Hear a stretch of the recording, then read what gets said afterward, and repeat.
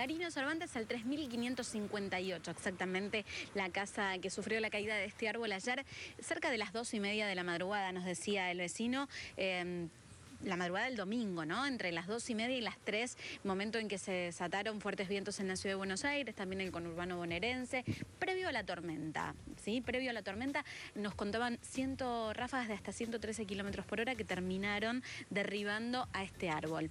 Aclaramos esto del viento porque el viento fue muy intenso. Sin embargo, nos contaba ayer por la tarde el vecino eh, que vive en este lugar que ya tenía varias denuncias contra este árbol. Ah, desde hace tres años que venía presentando denuncias en el gobierno de la ciudad de Buenos Aires diciendo el árbol está podrido, eh, hay ratas que, eh, que están comiendo el árbol.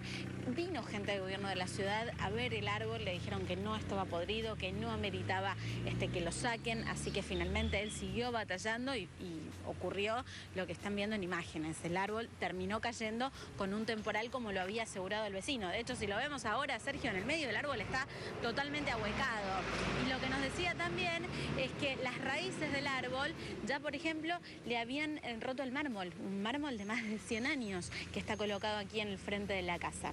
No solamente la caída le provocó que se rompa todo el balcón del primer piso, sino también un desprendimiento de la medianera, que eso lo analizó un arquitecto de gobierno de la ciudad y le dijo que es muy probable que la medianera se termine cayendo, pero para el lado del vecino, así que hay que apuntalarla y arreglarla. Y también este señor tenía mm. estacionado su auto en el frente de esta casa, que se rompió todo el capot, la parte de adelante quedó totalmente abollada, llena de escombros. Sí. Vos decís que este hombre ya hizo la denuncia. ¿Dónde hace la denuncia este hombre? ¿En qué lugar lo tiene que hacer?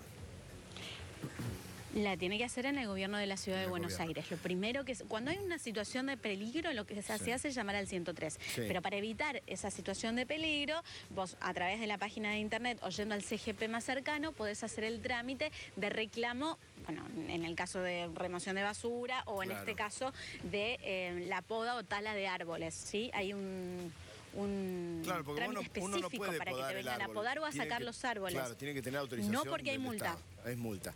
¿Y, desde el gobierno qué han dicho? No lo puedes hacer. Bueno, desde el gobierno lo que dice este vecino es que le mandaron un inspector. Ah. Es decir, como esto lleva tres años, no es que nunca vinieron, sí vino un inspector.